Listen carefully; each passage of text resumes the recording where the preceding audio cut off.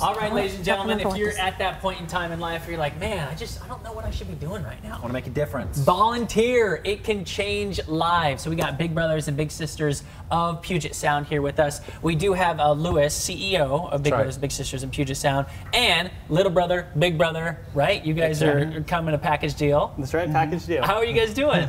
Good. Outstanding. Outstanding. Wonderful. So we've got a lot to talk about, but I really want to get the 411 on, on your story because this is really, really cool. I know people know about Big Brothers and Big Sisters and they get the idea, but they don't really necessarily know what it entails. Yeah, how does it work, kind of a thing. Right. Let's kind of start from ground zero. You, you decided to jump in. Yeah, so six years ago, a little more than that, I decided to jump in and I got matched up with Sean. And from the first day, we knew that it was a match. So uh, we went to the to visit the Fremont Troll, and Sweet. and when we saw that troll, we were like, okay, this is this is a partnership that's going to last. And so uh, yeah, we've been matched ever since. We usually meet once a week. What, what's from your perspective? Uh, you know, for folks who maybe don't quite understand the whole Big Brother Big Sister program, you know, it's kind of part mentorship, part Mm-hmm. friend, part whatever it is that maybe you need in your life. Just somebody to talk to, maybe outside the family. What did you get out of this? Uh, just someone to hang out with when my family's out. Uh-huh.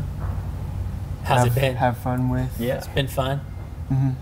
You know, I think taking that first leap, especially for those who want to volunteer and maybe reach out a hand to help somebody, maybe extend their wing, that moment that you made the decision to actually move forward with this, how did that go through your mind?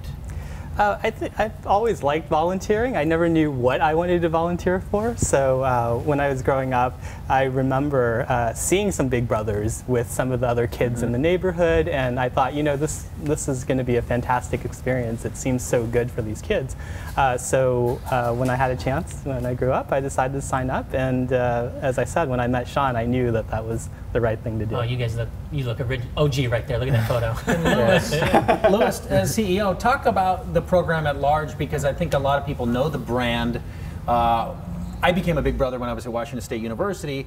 I was in the Greek system. Part of it was, hey, you guys got to volunteer. Go find something to do. And I thought, I don't want to just, you know, sweep up Yeah. some dirt. I want to do something impactful. And somebody kind of put it to me. They said, well, you know, the Big Brother program is here in Pullman. You could get matched Great. up with a young man and and kind of Yeah. give your time and your resources. So how do you, yeah, how do you talk about the importance of this unique opportunity Yeah, to the volunteer? The importance is that we focus on the relationship. And Yeah. it's, it's not a, a thing to just do homework or to go somewhere. It's we are really intentional on, on finding the right compatible match.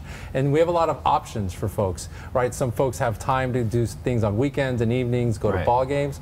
Others want to be in the school space. Others want to use technology and online. So we have all those options for someone who can give about four hours a month. Okay. And, and, and, and, find the time to be someone's friend, to be there, to show up when someone needs it, and to just hang out and talk about the future and we future should make success. sure we hit on that because I know we're short on time. Uh, people who are saying, "Yeah, you know what? I've always wanted to do Yeah. that." What is the commitment? It's about four hours. Is it a financial commitment? A lot of people want to know what it it's at least four hours a month. Okay. We ask for a, a one-year commitment at the minimum, and find time to spend with the child.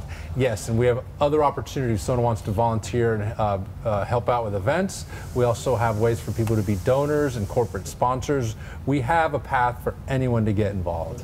Look at that picture. All right, so what are, you- what are you doing here? He's talking at his wedding? Yeah. Dude, that's so cool. It's like a toast to me. It's the man. Yeah. Talking about how much I l- like hanging out with him. Did you pay him to say that? Yes, yes. You know, I, I, I bribed him with that cake. Yes, it's Big Brother. Yeah, I was super proud when he stood up at my wedding. He's Yeah. groomsman. That's so cool. And, and gave that toast. Do you Uh, think this will be lifelong? Absolutely. What do you think, For a unique bond.